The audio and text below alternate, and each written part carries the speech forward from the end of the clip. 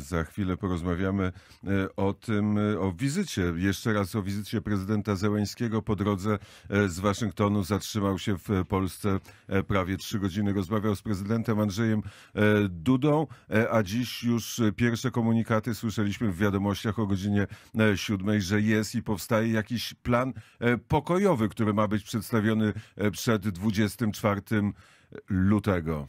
E, nie mam jeszcze też, nie widzę e, szczegółów tego planu, ale e, też przeczytałem o tym, że plan jest w przygotowaniu.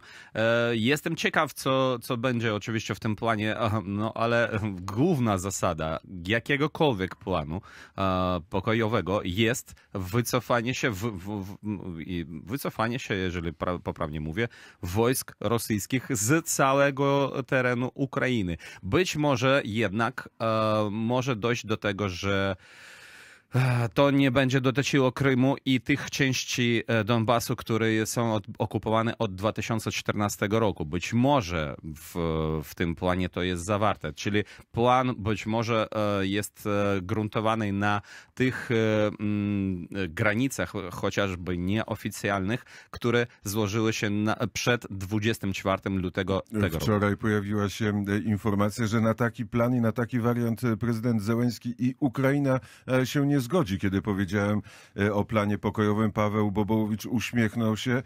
E, bo pomyślał sobie, że to jest może ten scenariusz, którego się najbardziej obawiał. Ja rozmawialiśmy o tym, rozmawialiśmy o tym wczoraj na antenie, rozmawialiśmy wcześniej, że e, być może też ta wizyta prezydenta Zełenskiego jest związana e, z próbami i naciskami na niego na to, że musi dojść do rozmów z Federacją Rosyjską i że pojawi się właśnie kwestia rozmów pokojowych i oczywiście podzielam tutaj obawy Dmytra, bo to wszystko, to wszyscy chcemy pokoju, ale nie ma pokoju bez ukraińskiego zwycięstwa i to jest kwestia kwestia po prostu, jak ma ten pokój wyglądać, bo jeżeli to będzie kolejny Mińsk, to po prostu znajdziemy się e, w tragedii, która rozciągnie się na kolejne, kolejne lata i obawiamy się tego. I czytając oczywiście dzisiaj wiadomości o tym, że e, ekipa Zełańskiego przygotowuje e, i ma ogłosić 24 lutego założenia tego planu pokojowego, to jest ta niepewność i jest ta pewnego rodzaju obawa. Ale chciałbym, Krzysztofie, wrócić do tego wątku polskiego, bo to jest istotne. Oczywiście to, że prezydent Załański spotkał się z prezydentem Dudą ma też taki aspekt techniczny, ale to też jest ważny aspekt techniczny. Polska stała się tym miejscem, z którego tak naprawdę olbrzymia część ukraińskiego rządu, ukraińskich władz rozpoczyna i kończy wszystkie wizyty. Lotnisko w Rzeszowie i inne miejsca e, stały się po prostu naturalnym e, takim hubem, e, połączeniem Ukrainy z całym światem. I to jest szersza sprawa niż tylko spotkanie nawet dwóch liderów naszych państw. To po prostu świadczy o tym, że nasze kraje teraz współdziałają nawet na takim poziomie technicznym. Ale oczywiście to jest ważne, że ten komunikat został upubliczniony. Możemy podejrzewać, że to nie jest pierwsze spotkanie, że, że prezydent Zeleński mógł się spotkać z prezydentem Dudą też lecąc do Waszyngtonu, ale e, niektóre spotkania pozostają pewnie owiane mm, tajemnicą, ale ciężko było opublikować informację, że najpierw spotkał się z prezydentem e, Dudą, bo przecież to była pierwsza wizyta e, zagraniczna od 24 lutego, ale jednak ten komunikat, to, że prezydenci rozmawiali, że był czas na rozmowę mm, w, w cztery oczy, że znowu padły te słowa, że prezydent Załęski powiedział, że spotkał się z przyjacielem Ukrainy, z prezydentem prezydentem Andrzejem e, Dudą. Czyli taka e, dobra atmosfera, bo to jest istotne, bo cały czas musimy uważać i pamiętać, że e, ta, to, co się wytworzyło przez te miesiące, żeby gdzieś nie przepadło właśnie w tych grach politycznych, w tym takim codziennym też napiętym życiu. I ta wizyta i chyba te komunikaty dowodzą tego, że jednak mamy cały czas tę dobrą nić połączenia z Ukrainą. I istotne jest, że prezydent Andrzej Duda i polscy, polscy politycy, pewno jest ich niewielu, jest dokładnie poinformowany, mam nadzieję, o tym e, planie pokojowym i o tych dyskusjach za zamkniętymi drzwiami między prezydentem Zełańskim e, a prezydentem Bidenem. Lekko sceptycznie popatrzył na mnie Paweł Bobowicz, a Dmytro e, opowie, co zdarzyło się w ciągu ostatnich 24 godzin na Ukrainie. A cóż, wielkich zmian na froncie nie ma, mm, ale e, sytuacja na e, północny, e, północny wschód od Bachmutu, tam gdzie znajduje się Soledar, jest bardzo poważna i jeżeli nie, nie powiedzieć ciężka, bo za ostatnich kilka dni wróg zdążył i posunął się w kierunku Soledara i posunął swoje pozycje w kierunku Solidara. Znajduje się tam e, też e, mała miejscowość Jakowliwka, jak, Jakowliwka, która jest już całkowicie niestety okupowana, a dalej między Jakowliwką i Bielohorywką, która znajduje się nad brzegiem Siwerskiego Dońca, gdzie toczą się walki już kilka dobrych e, miesięcy, to tam też wróg w, w rejonie Berestowego też ma, ma sukcesy. No, to chodzi o być może 1-2 kilometry, ale jednak oni przeszedli dalej.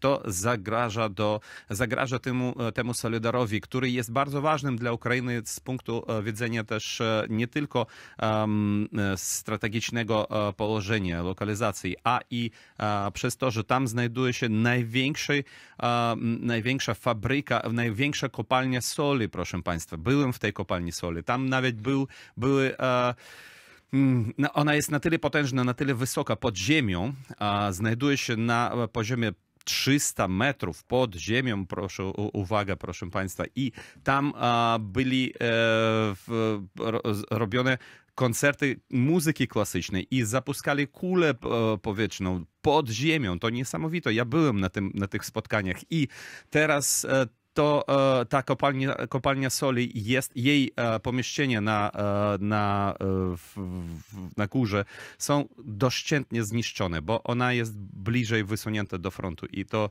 mi bardzo boli. I oprócz tego jeszcze parę dni temu na froncie pod, pod Bachmutem zginął ukraiński reżyser Oleg Bobalo. Jest też taka obawa, patrzę na Pawła Bobołowicza, że w momencie, kiedy e, publiczną wiadomością, e, to, to nie są, tak sobie pomyślałem, że to nie są te e, jedyne informacje o, o osobach, które zginęły na frontach ukraińskich, tych pogrzebów. Tak naprawdę jest bardzo dużo i straty Ukraińców, ukraińskiego wojska są są y, znaczące. E, wczoraj mm, pojawił się ten komunikat, że Ukraińcy mm, już osiągnęli to taki no, ważny element z punktu widzenia militarnego, bo e, do tej pory miało zginąć 100 tysięcy e, rosyjskich żołnierzy i to wczoraj ta informacja krążyła w ukraińskich mediach, w ukraińskich mediach społecznościowych, ale rzeczywiście nie wiemy jaka jest, jak wielka jest ofiara po stronie Ukrainy. Można to zobaczyć, gdy się jedzie przez Ukrainę, gdy się przejeżdża nawet przez małe miejscowości na tamtejszych naszych cmentarzach widać stojące maszty z flagami. Taka flaga, mm, flaga państwowa Ukrainy oznacza, że to jest pochówek e, wojskowy, z e, świeże kwiaty i czasami są takie cmentarze, tak jak ten, który widzieliśmy z Piotrem Mateuszem Popłowiczem pod e, Stanisławowem, gdzie po prostu tych flag było całe morze i człowiek wtedy sobie uświadamia, jak wielu tych żołnierzy oddało swoje życie. I oczywiście wśród tych nazwisk są nasi koledzy, są nasi przyjaciele. To jest strasznie bolesne, bo za każdym razem gdy e, taka, e, gdy ta ofiara nabiera nazwiska i kształt konkretnej e, osoby, po prostu zaczyna człowiek rozumieć, jak wielka jest, jak wielki ból jest tej wojny i jak duże mogą być to straty. Dmytro wspomniał o reżyserze, świat nauki, świat, świat dziennikarski, świat artystyczny. To są wszędzie tam, stamtąd są dzisiaj ukraińscy żołnierze i niestety są ofiary wśród e, tych tych żołnierzy. No cały czas jesteśmy w kontakcie oczywiście z naszymi mm, znajomymi też radiowymi, tymi, którzy e, stali się też naszymi słuchaczami i nawet w tych warunkach frontowych e, słuchają i nawet wśród tego oddziału, do którego, mm, do którego tak często jeździłem w ostatnim czasie, niestety tam też są ci, którzy zginęli, ci, którzy e, są ranni i pewnie w tym okresie świątecznym szczególnie będziemy o tym wspominać, będziemy o tym myśleć.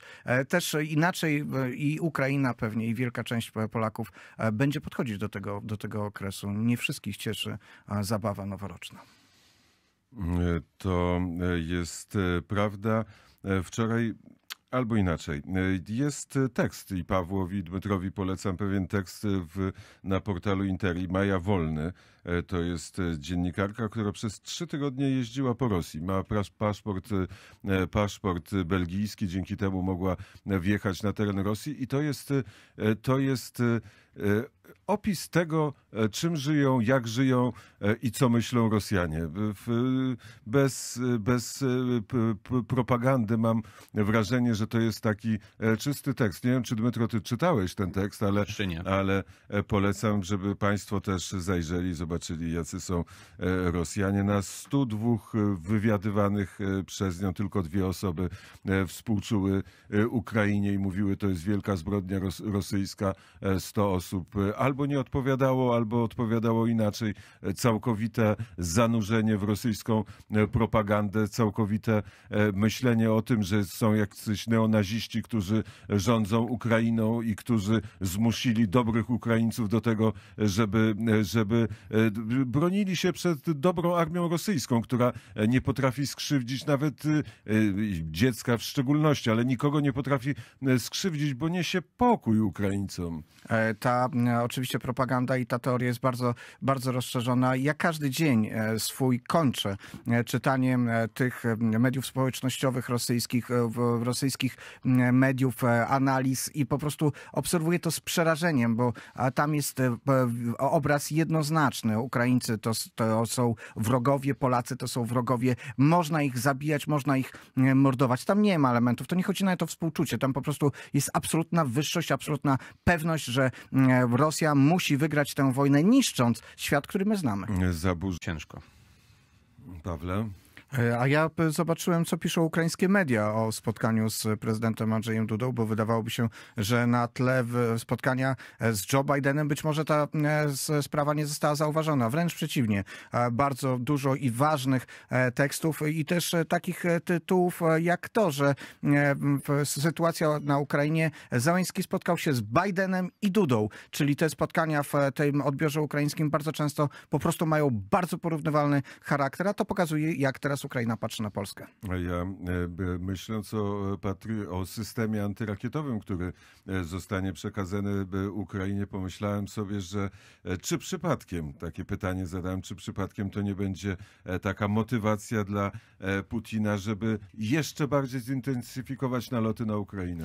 E, Być może tak, bo e, jest informacja z różnych źródeł, że, że Rosja zaatakuje kolej, po raz kolejny, e, zrobi ten zmasowany atak rakietami i wszystkim, co ona ma e, akurat dzisiaj, 23 e, grudnia. Na razie w moim zastosunku ja nie widzę, żeby było, e, byli alarmy przeciw powietrzne, ale może lada chwilę to stać. I teraz komunikat nadzwyczajny. Dmytro Antoniuk do godziny pierwszej będzie tutaj przy krakowskim przedmieściu 79 z kalendarzami i książkami, więc jest szansa, żeby i uścisnąć dłoń i e, mieć bardzo piękny kalendarz e, z polskimi zabytkami, które są na Ukrainie, tak Dmytro? E, I ja przypominam Państwu, że bardzo ważne jest to, żeby Państwo wspierali nasze radio, żeby można było słuchać mnie, moich kolegów i innych. I jest specjalna strona zrzutka.pl ukośnik wnet, gdzie Państwo możecie nas wesprzeć.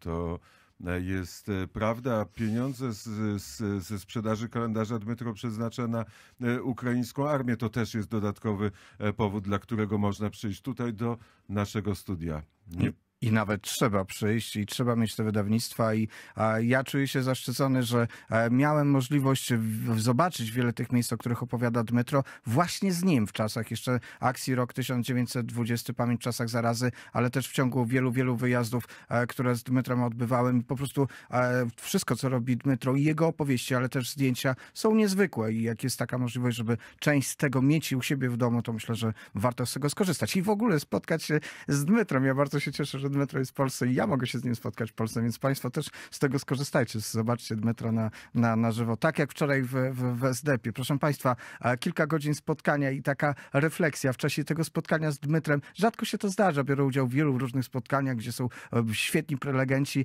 ale no, nawet z przyczyn technicznych czasami ludzie wychodzą. A tutaj w czasie spotkania z Dmytrem nikt nie opuścił sali. Po prostu wszyscy żeśmy I- tej opowieści słuchali. I, I jeszcze warto dodać, że e, gwiazdą tego spotkania był Ajdar, E, pies, którego ty uratowałeś e, pod Kijowem, a ja przywiozłem e, na granicę z Polską. Trochę tej chwały Dmytra rzeczywiście Ajdar może zabrał. Dmytro też będzie po świętach w Zamościu i w Lublinie. Szczególnie Lublin nas interesuje i słuchaczy w Lublinie, słuchaczy poranka wnet. Gdzie będzie to spotkanie? W, w Zamościu, proszę Państwa, 27 o 17 w synagodze, a w Lublinie na sam koniec 28 grudnia o też 17 godzinie na Lubartowskiej 77. Zapraszam serdecznie. To teraz, e, panowie, możecie pójść na e, śniadanie o, o Ukrainie, o tym, co tam się dzieje. Będziemy jeszcze z biskupem pomocniczym Lwowa w poranku wnet rozmawiać. Biskup Kawa, mam nadzieję, o 8.12 odbierze e, telefon, a teraz, a teraz nie wiem, czy mamy reklamy. Jeśli reklam nie mamy, to czas na fakturę kultury. Faktura Kultury powstała przy współpracy z Ministerstwem Kultury i Dziedzictwa Narodowego.